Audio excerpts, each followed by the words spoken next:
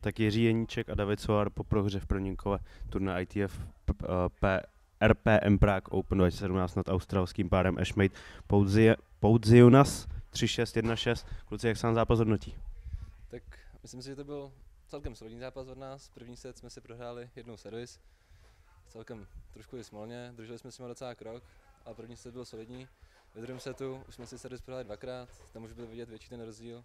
Oni teda podávali fakt dobře, breaknutý byl fakt těžký, ten jeden z nich byl hodně vysoký. Je- Jeho, no nejsme uhráli asi pět míčů, toho druhého hrál se novet, ale bylo to těžký no, na jejich servisu.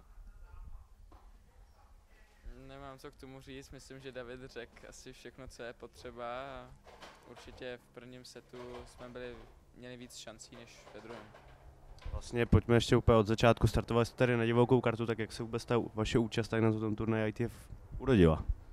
Tak vlastně Jirkův táta sponzoruje ten turnaj a Jirka dostal možnost vlastně si zahrát tady čtyřhru, tak zeptal se mě. Jsem moc rád, teďka v poslední době jsme spolu hráli hodně turnajů, něco jsme vyhráli, nějaký body, tak jsem rád, že můžeme si vyzkoušet nějaký větším turnaj. Něco, co byste k tomu dodal? Jo, že jsem rád si s Davidem zahrál a doufám, že to bude pokračovat. Jste řík- Říkali jste vlastně, že se spolu už nějaký turnaj odehrávají, tak s čím jste do toho vstupovali? Jestli Zkusit to nebo věřili, jste, že, věřili byste, že byste mohli něco uhrát? Přesto vlastně dostali jste druhý nasazení, nicméně, jaký budete očekávání z vaší strany? Tak začneme tady. Tak očekávám. Tak my už jsme vlastně jeden takovýhle turnaj hráli, bylo to vlastně v Říčanech ještě minulý rok. A to teda dopadlo daleko hůř než tady ten, takže jsme šli do toho s tím, že budeme chtít ode, odehrát lepší zápas než minule. Já souhlasím. Zahrát si dobrý zápas, tady ty zkušenosti jsou podle mě jako hodně dobrý, i se tady vůbec podívat, jak ty hráči hrajou. Je vidět, jako, že nekazí, hrajou rychlejc a ho- hodně dobrá zkušenost je to. jsme výsledek 3-6-1-6 je vidět, že se úplně asi nepropadli. Tak jak se jsou spokojen s vaším výkonem?